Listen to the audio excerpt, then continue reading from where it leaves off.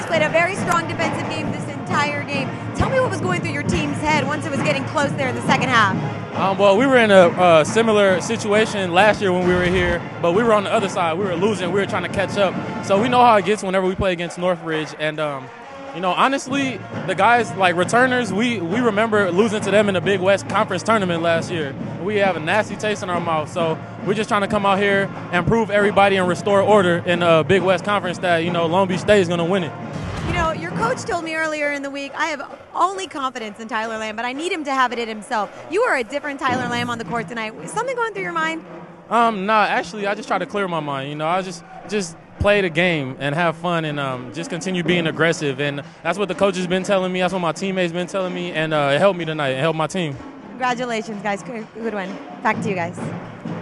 Thanks to Nas Redemption for Long Beach State.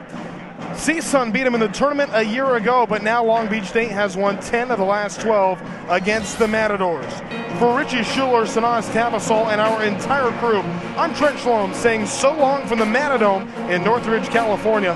Final score tonight, Long Beach State beats CSUN 64 to 58. To watch this entire game on replay as well as other games on our family of ESPN networks, log on to watchespn.com or download the Watch ESPN app.